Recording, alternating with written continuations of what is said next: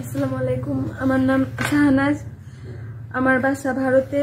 আমি এক বছর আগে প্রেমের টানে বাংলাদেশের এক ছেলের সাথে রিলেশন করে আমি সখীপুর থানার উপজেলায় কুতুবপুর গ্রামে আমির আলীর ছেলে আলামিনের সাথে আমার সম্পর্ক হয়। সম্পর্ক করার পরে আমি এক বছর আগে আমি বাংলাদেশে আসি আমি জানতাম না যে ওর আগে বিয়ে হয়েছিল, বউ আছে, দুইটা বাচ্চা আছে সব কিছু গোপন রাখছিল।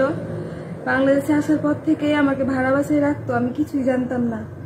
তারপর আমি যখন জানতে পারি, তখন আমাকে প্রচুর মারধর করে। আমি বাসা থেকে চার লাখ টাকার স্বর্ণ টাকা পয়সা আনি, আনার পরে আমার জামাইয়ের হাতে দিছি। সব কিছু আমার টাকা পয়সা সব কিছু খাওয়ার পরে আমার উপর মানসিকভাবে, শারীরিকভাবে প্রচুর নির্যাতন করে। আমাকে খাওয়া পড়া কিছুই দেয় না। আজকে তেরো দিন হয়েছে, আমার বাচ্চা হয়েছে। আমার বাচ্চার টোটাল কোনো রকম খরচা দেয় নাই।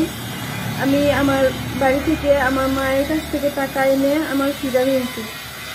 আমি জানতাম না যে ওই মানুষটা নেশা করে, মেয়েদের সাথে খারাপ সম্পর্ক রাখে, আমি কিছুই জানতাম না। আমি প্রেমের টানে আসছি, তার উপর বিশ্বাস করছি, ভরসা করছি। আসার পরে আমার উপর প্রচুর নির্যাতন করে, আমার ভুল হয়েছে, আমি ওই মানুষটাকে বিশ্বাস করছি। এরপর আমি আমার ভুল স্বীকার করছি। আপনারা দয়া করে আমার একটা ব্যবস্থা করে দেন আমার আমার বাচ্চার, আমি হয়ে যাব। আমার থাকা খাওয়ার কোনো রকম ব্যবস্থা নেই। আমি ভাড়া বাসায় থাকি, আমাকে কোনো রকম টাকা পয়সা দেয় না। প্রচুর মারধর করে।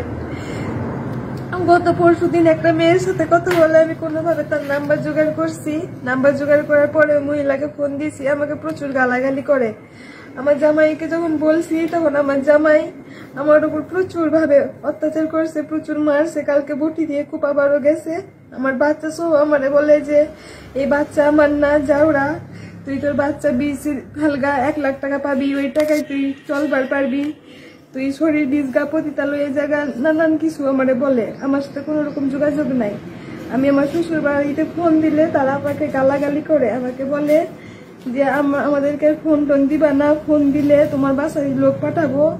নানান ভাবে হুমকি দেয়। আমার জামাই আমার সাথে কোনো রকম যোগাযোগ রাখে না। এখন আপনারা সবাই মিলে আমার আর আমার বাচ্চার একটা ব্যবস্থা করে দেন। আমার আমার বাচ্চার মরা ছাড়ার কোনো উপায় থাকব না। কারণ আমার কেউ নাই।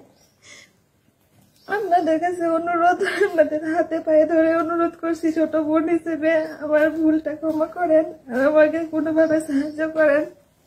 যেন আমার আমার বাচ্চা যেন ভরণ পোষণ ভারত থেকে এসে পড়ছি এক বছর আগে। মান সম্মান আমার বাপ মায়ের অনেকটা গেছে। তার উপর আমি চুরি করে আনছি, আমার এলাকার মানুষ। সবার কাছে মানে আমি মুখ দেখাতে পারব না। আমার যাওয়ারও কোনো সিস্টেম নেই। আমি এই বাচ্চা নিয়ে আমি যদি যাই, আমি ওই সমাজে কোন ভাবে আমি যাব? এই বাচ্চার কি পরিচয় নিয়ে আমি যাব? আমার বাপ মায়ের মান সম্মান তো গেছে। তার উপর আবার যদি আমি, আবার যদি যাই, আমার বাপ মায়ের মরা ছাড়া উপায় থাকব না। আমি আমার বাসা তো আর ভারতে আর ভিড়বার চাই না, কারণ আমার যদি এইখানে যদি কোনো ব্যবস্থা না হয়, আমি আমার কোলা দুজনে মিলে মরে যাব, তারপরেও আমি আমার বাসাতে ফিরবার পারব না। আমি আজকে এমন একটা অবস্থার মধ্যে পড়ছি, আমি ভারত তো যাবার পারব না, কারণ সমাজ আমাকে কোনোভাবে মানবো না। আবার আমি আমার এই বাচ্চার কোন পরিচয় নিয়ে যাব, আমি ভুল তো করছি।